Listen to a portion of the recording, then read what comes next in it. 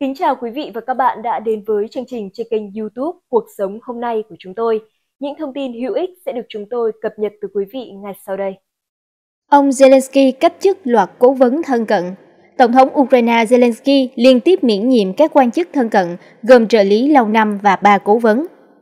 Shehi Shefir, người đảm nhiệm vị trí trợ lý thứ nhất của Tổng thống Ukraine Volodymyr Zelensky từ năm 2019, cùng ba cố vấn gồm Mikhailo Radusky, Shehi Chomifov và Oleg Ustecko bị cách chức theo sắc lệnh do ông Zelensky ban hành hôm nay. Hai ủy viên giám sát hoạt động tuyển quân tình nguyện và quyền lợi của binh sĩ cũng nằm trong danh sách bị miễn nhiệm. Tổng thống Zelensky ngày 29 tháng 3 cũng miễn nhiệm Andriy Shminovov, quan chức phụ trách chính sách pháp lý và Oleksky Divrov, người chịu trách nhiệm vận hành văn phòng Tổng thống Ukraine. Đây là hai trong 10 cấp phó của chánh văn phòng Tổng thống Ukraine Andriy Yemat. Ông Zelensky không nêu lý do khiến những người này bị mất chức. Đây là loạt động thái mới nhất trong nỗ lực cải tổ bộ máy chính phủ và quân đội được Tổng thống Zelensky tiến hành thời gian qua. Thư ký Hội đồng Quốc phòng và An ninh Quốc gia Ukraine Oleksiy Danilov cùng phát ngôn viên không quân Yuri Inat cũng lần lượt bị cách chức trong tháng này mà không rõ nguyên nhân. Thay đổi lớn nhất trước đó là quyết định cách chức tư lệnh quân đội Ukraine Valery Zaluzny hồi tháng 2 và thay thế ông bằng tướng Oleksandr Sisky, người khi đó giữ chức tư lệnh lục quân. Đợt cải tổ diễn ra trong bối cảnh quân đội Ukraine đối mặt với nhiều khó khăn trên chiến trường, một phần do thiếu đạn dược vì nguồn cung từ phương Tây sụt giảm. Trong cuộc phỏng vấn công bố hôm 29 tháng 3, ông Zelensky nói lực lượng nước này sẽ phải lui quân từng bước và thu hẹp tiền tuyến nếu gói viện trợ 60 tỷ USD từ Mỹ tiếp tục bị trì hoãn. Tư lệnh Sisky cũng thông báo đang đề xuất các thay đổi nhằm bổ nhiệm những sĩ quan có kinh nghiệm hơn. Tổng thống Ukraine Volodymyr Zelensky bất ngờ có sự điều chỉnh một số vị trí nhân sự tham mưu thân cận và quan trọng, trong đó có việc bổ nhiệm cựu quan chức an ninh cấp cao làm đại sứ tại Moldova. Trong quyết định đưa ra ngày 29 tháng 3, Tổng thống Zelensky đã cách chức hai phó chánh văn phòng tổng thống và bổ nhiệm cựu quan chức an ninh cấp cao làm đại sứ tại nước láng giềng Moldova. Theo sắc lệnh được công bố, Tổng thống Zelensky đã cách chức ông Andriy Shimnovov, quan chức chịu trách nhiệm về các vấn đề chính sách pháp lý, và ông Oleksky Nivrov, người đứng đầu bộ máy của văn phòng. Đây là hai nhân vật nằm trong số 10 cấp phó của chánh văn phòng tổng thống ông Andriy Yermak. Hai nhân vật được bổ nhiệm thay thế là bà Olena Kovaska, nhân vật tham gia nhóm cố vấn cho Tổng thống Zelensky về việc thành lập tòa án để truy tố Nga do chiến dịch quân sự đặc biệt của Moscow và bà Irina Mudra, Thứ trưởng Bộ Tư pháp.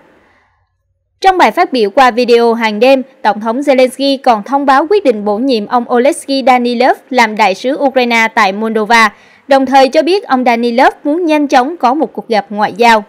Tổng thống Zelensky mô tả Moldova là một quốc gia cực kỳ quan trọng, cả từ quan điểm về những thách thức an ninh trong khu vực và từ quan điểm hợp tác song phương. Tổng thống thân châu Âu Maya Sandu của Moldova đã lên án chiến dịch quân sự đặc biệt của Nga ở Ukraine. Đây là những diễn biến mới nhất trong cuộc cải tổ của Tổng thống Zelensky, nhà lãnh đạo vốn chủ yếu thay người ở lĩnh vực quân sự. Trong đó đáng chú ý là bổ nhiệm ông Oleksandr Sitsky làm tổng tư lệnh thay cho ông Valery Zaluzny. Tổng thống Zelensky cảnh báo rằng quân đội Ukraine sẽ phải lui quân từng bước, thu hẹp tiền tuyến nếu thiếu gói viện trợ 60 tỷ USD từ Mỹ. Nếu Mỹ không viện trợ, chúng tôi sẽ không có lá chắn phòng không và tên lửa Patriot, không có hệ thống gây nhiễu và đạn pháo 155mm. Điều này nghĩa là Ukraine sẽ phải lui quân theo từng bước nhỏ. Chúng tôi đang tìm cách nào đó để không phải làm như vậy. Tổng thống Ukraine Volodymyr Zelensky nói trong cuộc phỏng vấn công bố hôm 29 tháng 3. Tổng thống Ukraine nhấn mạnh tình trạng thiếu thốn đạn dược sẽ khiến Ukraine phải thu hẹp tiền tuyến và từ bỏ nhiều vị trí đang kiểm soát hiện nay. Nếu phòng tuyến bị chọc thủng, lực lượng Nga có thể tiến thẳng đến các thành phố lớn, ông cảnh báo. Ông Zelensky khẳng định Kiev đang tận dụng vũ khí và các hệ thống phòng không nội địa, nhưng vẫn không thể bù đắp khoảng trống viện trợ, đồng thời chỉ trích Mỹ phản ứng không tích cực với các vụ tập kích của Ukraine nhằm vào loạt nhà máy lọc dầu tại Nga. Chúng tôi dùng máy bay không người lái của chính mình, không ai nói rằng Ukraine không thể làm điều đó. Nếu thiếu hệ thống phòng không để bảo vệ mạng lưới năng lượng trước những đòn tập kích của Nga, tại sao Ukraine không thể trả đũa tương tự? Chúng tôi sẽ ngừng tấn công khi đối phương chấm dứt hành động như vậy. Ông cho hay, Chủ tịch Hạ viện Mỹ Michael Johnson thành viên đảng Cộng Hòa nhiều tháng qua đã trì hoãn dự luật cung cấp 60 tỷ USD viện trợ quân sự cho Ukraine, trong bối cảnh Kiev đang ở thế yếu trên chiến trường và phải đối mặt với tình trạng thiếu đạn dược nghiêm trọng. Tư lệnh quân đội Ukraine Oleksandr Sitsky đã nói chuyện với Chủ tịch Hội đồng Tham mưu trưởng Liên quân Mỹ Jack Lefrau về các vấn đề mà nước này gặp phải. Ông cho hay Ukraine rất cần hỗ trợ từ Mỹ để tăng cường khả năng phòng thủ trước các cuộc tấn công đường không của Nga, đồng thời xây dựng công sự để cản bước tiến của bộ binh đối phương. Moscow đã mở nhiều đợt tập kích quy mô lớn nhằm vào lãnh thổ Ukraine từ cuối tháng 12 năm 2023. Bộ Quốc phòng Nga tuyên bố đây là động thái trả đũa các vụ pháo kích, xâm nhập biên giới của quân đội Ukraine và dân quân thân Kiev tiến hành thời gian qua. Nga hôm 22 tháng 3 đã tiến hành cuộc không kích lớn nhất vào hệ thống năng lượng Ukraine kể từ khi xung đột nổ ra, gây mất điện cho hơn 1 triệu người. Moscow cũng tăng cường sử dụng những tên lửa đạn đạo khó ngăn chặn hơn để xuyên thủng lá chắn phòng không đối phương. Ukraine yêu cầu điều tra vụ pháo HIMARS bị Nga tập kích. Quan chức Ukraine bày tỏ lo ngại về năng lực trinh sát của Nga và yêu cầu điều tra sau khi một tổ hợp pháo HIMARS bị phá hủy trong tuần này. Truyền thông Nga ngày 5 tháng 3 công bố video cho thấy lực lượng nước này đang phóng tên lửa đạn đạo Iskander phá hủy một tổ hợp pháo phản lực 2m ven khu rừng gần làng Nikanoroka thuộc tỉnh Donetsk. Pháo 2m và các phương tiện đi cùng bốc cháy dữ dội sau khi bị tập kích. Nga nhiều lần tuyên bố tập kích pháo HIMARS mà Mỹ chuyển cho Ukraine. Như đây dường như là lần đầu tiên một tổ hợp này bị phá hủy thực sự. Hai tổ hợp HIMARS trước đó cũng bị tấn công nhưng chỉ hư hại và được đưa về Mỹ để sửa chữa. Phải mất rất nhiều thời gian để căn chỉnh mục tiêu cho một tên lửa Iskander như vậy. Roman Skotenko, thư ký Ủy ban An ninh, Quốc phòng và Tình báo Quốc gia của Quốc hội Ukraine ngày 8 tháng 3 cho hay. Ông Kostenko kêu gọi các chuyên gia vào cuộc điều tra xem điều gì đã xảy ra với khẩu pháo hai mắt bị phá hủy. Dĩ nhiên, pháo hai mắt luôn hoạt động ở hậu phương và chúng ta thấy rằng tình báo Nga đang nỗ lực săn lùng tổ hợp này, ông cho biết. Mỹ đã chuyển cho Ukraine 39 pháo hai mắt dù mất một khẩu trong trận tập kích tuần này và hai khẩu bị hư hại phải chuyển về Mỹ. Lực lượng Ukraine vẫn còn nhiều pháo hai mắt Mối quan tâm hiện tại cấp bách đối với Ukraine là liệu nước này có đủ đạn cho hai mắt hay không. Các loại đạn rocket của mắt mà Ukraine sử dụng nằm trong số những vũ khí thuộc gói viện trợ 60 tỷ USD đang mắc kẹt tại Quốc hội Mỹ. Ivan Stupak, cố vấn Ủy ban Tình báo Quốc phòng và An ninh Quốc gia tại Quốc hội Ukraine, nhận định Nga dường như triển khai vụ tập kích với hỗ trợ từ máy bay không người lái drone tầm cao.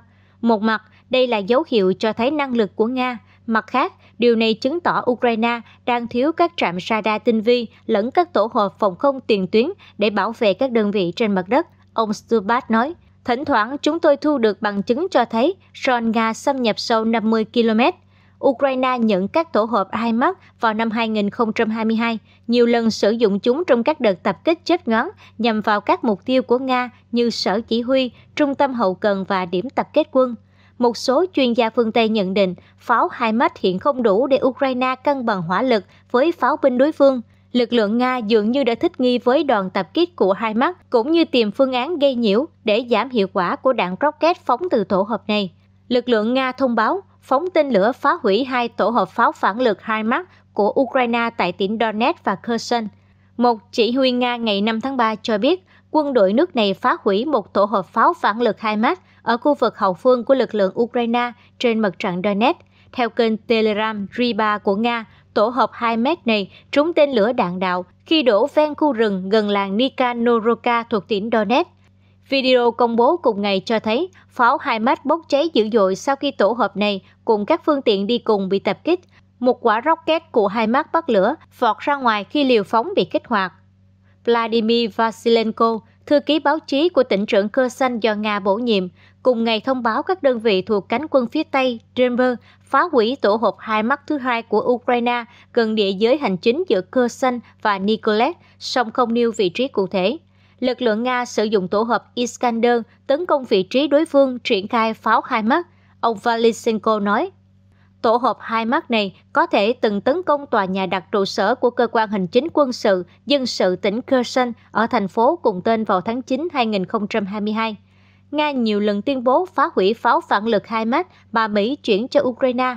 Bộ Quốc phòng Nga ngày 9 tháng 2 công bố video lực lượng nước này tập kích pháo HIMARS, tên lửa phòng không S-300, kho đạn và lưu pháo M777 của Ukraine tại nhiều khu vực. Ukraine nhận các tổ hợp HIMARS này vào năm 2022, nhiều lần sử dụng chúng trong các đợt tập kích chớp nhoáng nhằm vào lực lượng Nga. Truyền thông phương Tây cho biết, Ukraine đang vận hành 39 pháo HIMARS, ít nhất hai tổ hợp trong số này bị hư hỏng và phải chuyển về Mỹ để sửa chữa. Một số chuyên gia phương Tây nhận định pháo HIMARS hiện không đủ để Ukraine cân bằng hỏa lực với pháo binh đối phương. Lực lượng Nga dường như đã thích nghi với đoàn tập kích của HIMARS cũng như tìm phương án gây nhiễu để giảm hiệu quả của đạn rocket phóng từ tổ hợp này. Ukraine chuyển pháo HIMARS hư hại về Mỹ. Hình ảnh mới công bố cho thấy hai tổ hợp pháo phản lực HIMARS Ukraine bị hư hại được vận tải cơ đưa tới Mỹ để sửa chữa. Chuyên trang quân sự Warzone của Mỹ hôm ngày 12 tháng 2 công bố video tại sân bay quốc tế Harrisburg ở thành phố Middleton thuộc bang Pennsylvania cho thấy hai tổ hợp pháo phản lực M142 HIMARS được dỡ từ vận tải cơ AN-124 Ukraine và đưa tới địa điểm không xác định. Xe phóng đầu tiên có nhiều chữ thập trắng, dấu hiệu nhận dạng khí tài của quân đội Ukraine, dường như bị trúng mảnh văng từ đạn pháo của Nga. Phân tích hình ảnh cho thấy ít nhất 16 lỗ thủng trên thân xe và lớp trước khi bị xịt, trong khi cả hai tấm kính chống đạn trước buồng lái cũng bị hư hại, nhưng xe có vẻ không chịu thủng tất nặng. Xe thứ hai nhiều khả năng bị trúng mìn và chịu thiệt hại nặng hơn, bánh trước bên phải và một phần sàn buồng lái bị thổi bay, khiến các kỹ thuật viên phải tì trục xe lên các khối gỗ để giữ cân bằng. Đây là những hình ảnh đầu tiên có sức thuyết phục nhất về hệ thống HIMARS của Ukraine bị hư hại và loại khỏi vòng chiến. Nhiều khả năng chúng đang được đưa về nhà máy sửa chữa, cây bút Thomas Neudit nhận định. Bộ Quốc phòng Mỹ và quân đội Ukraine chưa bình luận về hình ảnh. Mỹ viện trợ pháo phản lực HIMARS cho Ukraine từ cuối năm 2022 với tổng cộng 39 xe phóng đã được chuyển giao. Chúng nhanh chóng chứng tỏ giá trị khi nhiều lần được Kiev sử dụng để tập kích, phá hủy các khí tài quan trọng của đối phương trên tiền tuyến. Tuy nhiên, Nga dường như đã thích nghi được với các đợt tập kích bằng pháo 2m trong năm 2023, thông qua phân tán lực lượng và tăng cường năng lực phòng không tiền tuyến. Moscow cũng bố trí thêm nhiều hệ thống tác chiến điện tử và khiến các loại đạn dẫn đường, trong đó có rocket của HIMARS, trở nên kém hiệu quả hơn trước. Lực lượng Nga vẫn duy trì nỗ lực truy tìm xe phóng đạn mét trước khi chúng kịp khai hỏa hoặc sơ tán khỏi trận địa. Các tài khoản ủng hộ quân đội Nga hồi tháng trước công bố video máy bay không người lái UAV phát hiện tổ hợp HIMARS Ukraine gần thành phố Kotanikova ở tỉnh Donetsk trước khi lọt đạn chùm bắn phá địa điểm ẩn nấp của nó trong khu rừng. Bộ trưởng Quốc phòng Nga Sergei Shoigu cũng chứng kiến video đoàn tập kích tên lửa nhằm vào pháo hai mắt ở làng Belay Kinista khi thăm sở chỉ huy lực lượng tham gia chiến sự hôm ngày 9 tháng 2. Pháo HIMARS tập kích đội hình diễu diệt của Nga. Lực lượng Ukraine dùng pháo phản lực HIMARS tập kích nơi đơn vị hải quân đánh bộ Nga tập trung diễu diệt, khiến ít nhất 19 người thiệt mạng các quân nhân thuộc Lữ đoàn Hải quân đánh bộ số 155 Nga vào ngày 28 tháng 2 tập trung đội hình để cấp trên kiểm tra và tổ chức diễu duyệt tại khu đất trống tại thị trấn Elenovka, tỉnh Donetsk, cách tuyến tuyến miền đông Ukraine khoảng 12 km, hoàn toàn nằm trong tầm bắn của pháo phản lực động cơ cao HIMARS. Một máy bay không người lái cỡ nhỏ, Ron của Ukraine, phát hiện đội hình lính Nga đang tập hợp giữa ban ngày và lập tức chuyển tọa độ cho đội khẩu đồ hai mắt gần đó hai rocket M30-31, mỗi quả chứa 182.000 viên đạn bi, nhanh chóng được khai hỏa từ pháo HIMARS xuống mục tiêu. Truyền thông Ukraine cho hay cuộc tập kích khiến 19 quân nhân Nga thiệt mạng, trong đó có một đại tá và hai sĩ quan khác. Chỉ huy lữ đoàn 155 là đại tá Mikhail Gokru bị thương. Một số blogger quân sự Nga xác nhận thông tin và cho biết đây là lần thứ ba vụ tập kích này diễn ra trong vòng chưa đầy một tuần. Đây không phải sai lầm riêng lẻ nữa mà đã trở thành tình trạng phổ biến, một blogger nhận định. Ukraine hôm ngày 21 tháng 2 cũng dùng pháo HIMARS tập kích vị trí quân nhân thuộc Lữ đoàn Bộ binh cơ giới cận vệ độc lập số 39, tập trung để cấp trên đến thị sát tại làng Trudoku, tỉnh Donetsk, khiến 65 người thiệt mạng. Ngôi làng này nằm cách tiền tuyến khoảng 36 km, trong khi pháo HIMARS có tầm bắn tới 80 km. Một vụ tập kích tương tự xảy ra một ngày sau đó ở bờ đông sông Dimner, cách làng Krinky ở tỉnh Kherson khoảng 32 km, khiến khoảng 60 quân nhân Nga thiệt mạng. Ron Ukraine khi đó phát hiện hai đội hình quân Nga tập hợp giữa bãi đất trống và chuyển qua tọa độ cho pháo binh tấn công.